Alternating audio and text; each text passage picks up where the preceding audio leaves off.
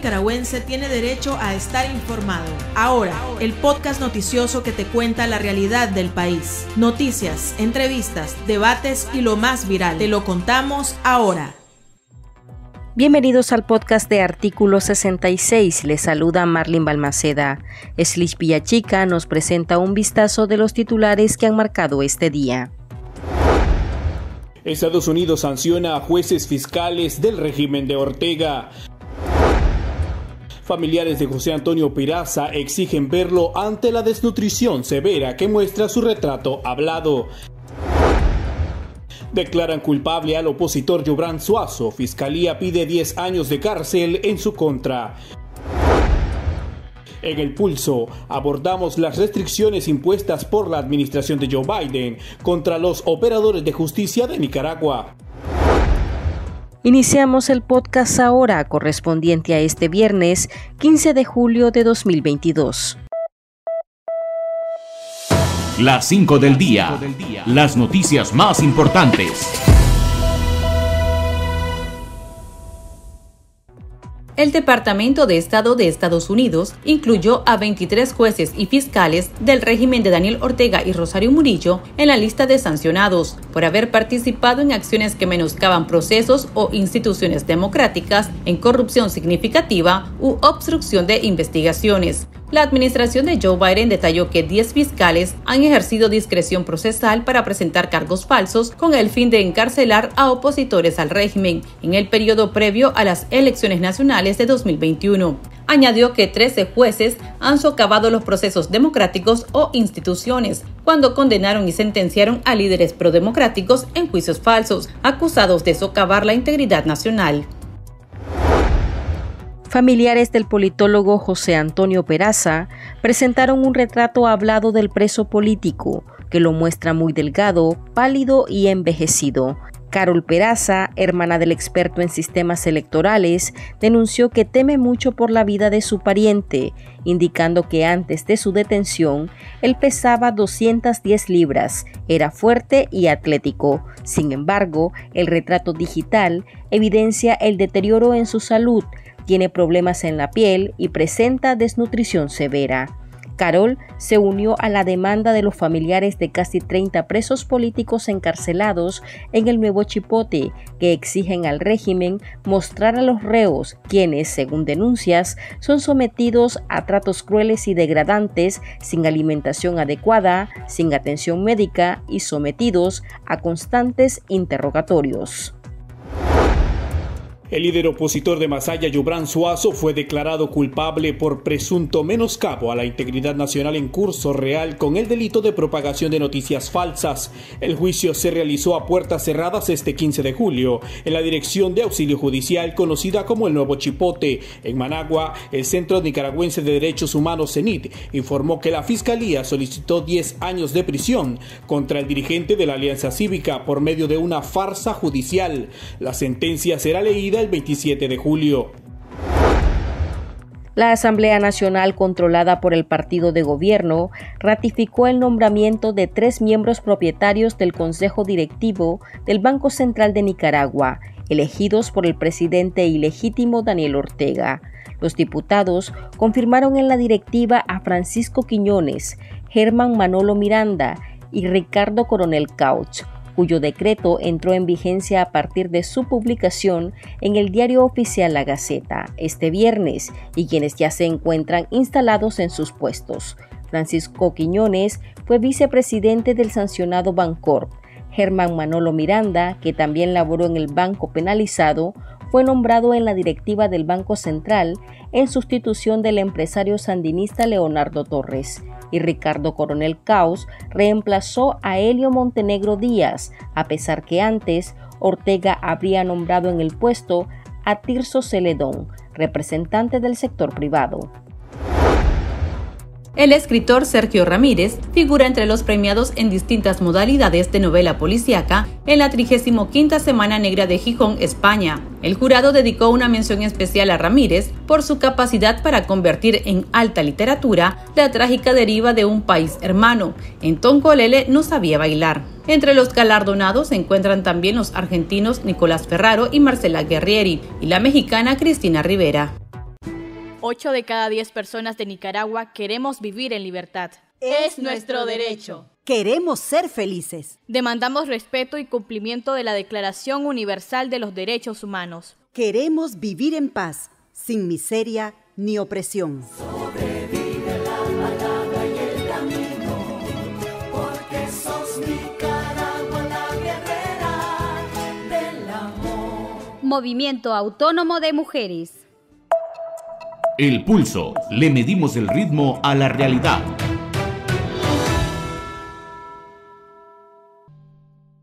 El Departamento de Estado de Estados Unidos sancionó a más jueces y fiscales de Nicaragua y señaló que continuará revisando activamente información fidedigna adicional para asegurar que a los funcionarios corruptos o antidemocráticos se les niegue un refugio seguro en los Estados Unidos.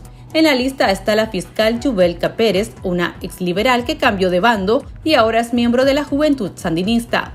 Luis Mena, fiscal en Nueva Segovia, que acusó a Douglas Cerros, y Auxiliadora Sequeira, fiscal de Estelí, que presentó cargos contra Alexis Peralta. También se encuentran los jueces Eric Laguna, Rosa Belia Vaca, Melvin Vargas, Ángel Giancarlos Fernández y Félix Galmerón. Estas personas no son elegibles para visas y admisión a los Estados Unidos, y cualquier visa actual será revocada inmediatamente, así como cualquier otra visa o entrada válida de documentación será cancelada.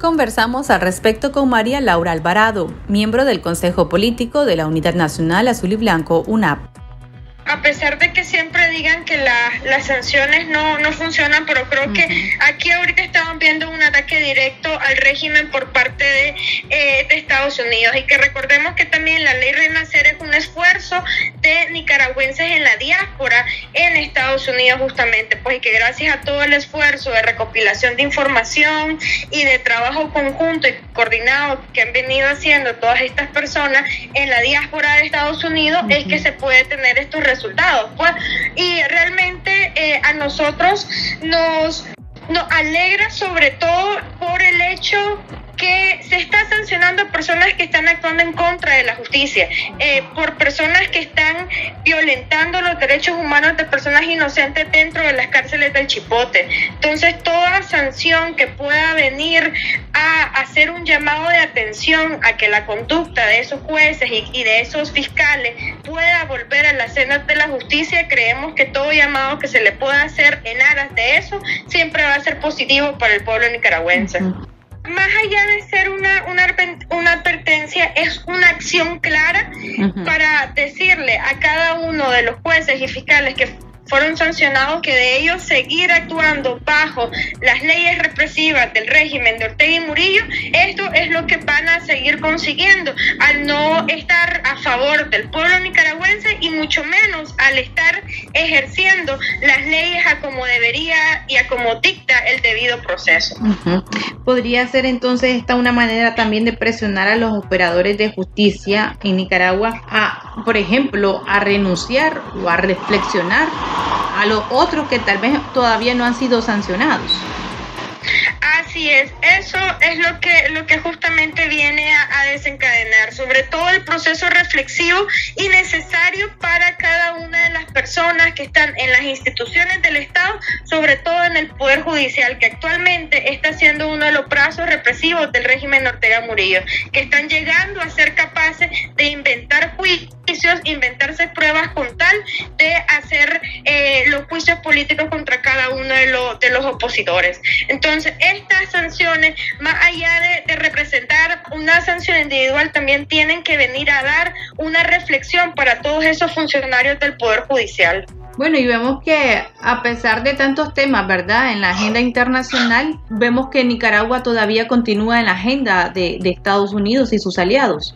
Así es, sobre todo porque eh, creemos que no solo Estados Unidos, sino también el resto de los países de la región están viendo la problemática y el conflicto social y político que existe en Nicaragua como una afectación que trasciende a la región, que ya no solo afecta a los individuos nicaragüenses dentro del país, sino que ya algo que se está traspolando a la región centroamericana y sobre todo que está afectando también las relaciones económicas y comerciales con Estados Unidos y el resto de la región. Ahora, vos me indicabas de que algunas personas opinan de que no son muy efectivas. Y bueno, tenemos por ejemplo el caso de Yadira Letz, la ex esposa de Rafael Ortega, quien también pues estaba manejando el negocio del petróleo de la familia y que ahora pues se encuentra en Estados Unidos junto a sus hijas. Entonces, realmente, ¿qué tan efectivas pueden ser este tipo de sanciones cuando vemos casos como este? Pues realmente ahí en el caso de, de Yadira Litz hay, hay muchas interrogantes, sobre todo porque sabemos, al, muchos, muchos nos preguntamos, por ejemplo, cómo fue que ella pudo haber entrado al país. Lo que nos dice es que muy probablemente pudo haber un acuerdo de previo de cambio de información. Entonces, esto también es algo que de alguna manera la información es poder para, para todas las personas. Entonces, de alguna manera ella puede estar intercambiando eh, información a, cambio de, de, su seguridad en el, en el país, incluso a cambio de su entrada dentro del país. Y lo cual también eso viene a ser un beneficio, a como te decía, todo tipo de información que sea para descubrir y tratar de desenmascarar, mejor dicho, todo el, el la estructura de corrupción que tiene el régimen dentro de las estructuras del Estado siempre va a ser positivo. Uh -huh. Y esto no significa de que el resto de, de, operadores del régimen pues vayan a tener este tipo de refugio, este tipo de protección. Realmente, bueno, primero creo que eso es una decisión muy eh, de cada uno de los estados que decían dar, dar refugio a estas personas. Pero sí creo que eso va a depender mucho del tipo de información que ellos le puedan proveer al estado que vaya a hacer, eh, que lo vaya a recibir o que los vaya a exiliar. Realmente ahí hay muchas cosas todavía de por medio para que un Estado te pueda brindar refugio o asilo y eso va a depender muchísimo del tipo de, de, de información pues, o, de, o de actos que vos les puedas eh, proveer a ellos y que esto vaya a ayudar también al pueblo nicaragüense a acelerar, de acelerar el proceso de, de, de obligar al régimen de Ortega y Murillo primero a liberar a las personas presas políticas y luego pues a, a a restablecer todo el proceso institucional que el régimen mismo ha venido a destruir desde, 2000, desde antes de 2018 incluso. En abril el fuego está encendido en miles que han dicho nunca más. Sembraron semillas de esperanza por Nicaragua. La tierra las acurrucó y germinó con amor. Sus rostros van por las calles nosotros está. La semilla se multiplicó con flores y frutos, trayendo esperanza para resistir, a pesar de la plaga y maleza que quisieron dañar la semilla. Múltiples voces susurran, liberate y desprendete de todo lo que te impide ser y volar en libertad. Que lo malo se va a acabar, que lo bueno ya va a empezar. Ya no quiero llorar de pena, solo quiero cantar a sus cenas, que el cielo me quiere cantar. Movimiento Autónomo de Mujeres. Sigo creyendo que lo malo acaba, que lo bueno viene, la conciencia te llama. La información veraz y de primera mano está ahora. No te perdás el podcast noticioso que te cuenta la realidad del país. Compartí y pasa la voz.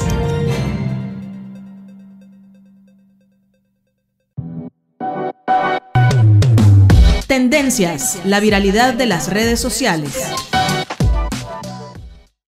Ernesto Caleb Rocha III, presunto femicida de la manicurista Karen Monserrat Blandón de 21 años, teme que en la cárcel la modelo en Tipitapa atenten contra su vida, por lo que su mamá Cándida Rosa III pidió que lo trasladaran al sistema penitenciario de Granada, según medios nacionales. El escrito introducido por la madre del principal sospechoso de asesinato contra una mujer indica que solicita el traslado por graves amenazas en contra de la integridad de su hijo. Por otro lado, la activista nicaragüense Carelia de la Vega, conocida como Lady Bulgaraza, agradeció a Costa Rica a través de sus redes sociales por haberle otorgado su carnet de refugio, en el que se le reconoce con su nombre elegido Carelia Hernández. Escuchemos a continuación las declaraciones dadas por la mujer trans a este medio.